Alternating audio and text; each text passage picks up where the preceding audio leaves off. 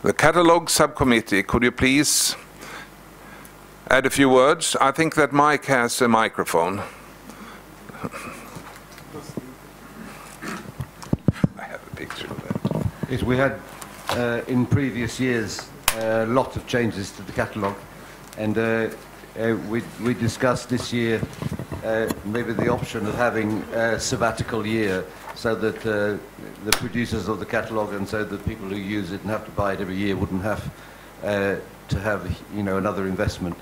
So uh, the general consensus of the catalogue subcommittee was to make no changes for 2014, uh, except if there are editorial changes that need tidying up, like commas and so on, or numbers. But for introduction of new figures, anything like that, we decided we would do nothing this year. I think also that um, the Aresti system will enjoy your sabbatical year. Any more questions to Alan? Philippe? Alan, can you give us an update how how the problem is solved regarding rolling turns in the official Aresti catalog? Do you know anything about this? Because you were the one who discovered it, and I had to fight with it on the competition this year.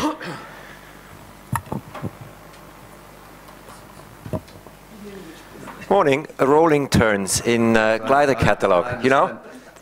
There's something in the glider catalogue. This, I mean, if, if you if you have if you have an editorial change that just something is clearly wrong and needs correcting, then we can issue a statement to correct it. But No. we're not going to produce new figures. Correctly your thing, but it's Yes. wrong in the Aresti one.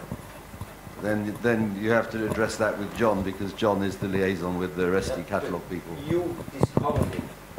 You were the one who discovered the problem. Did you forward it or what was your action? I, I think it's being dealt with by John.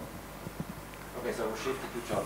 So you We will, uh, when we meet the Aresti system, we will forward that to them, so it will be corrected. Uh, Yes, thank you. It was, John says already that it was forwarded, but uh, we will bring it up again when we have a meeting with them. Any more questions for the catalog subcommittee?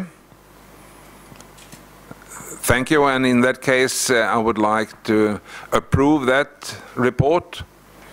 Any objections? CIVA agrees.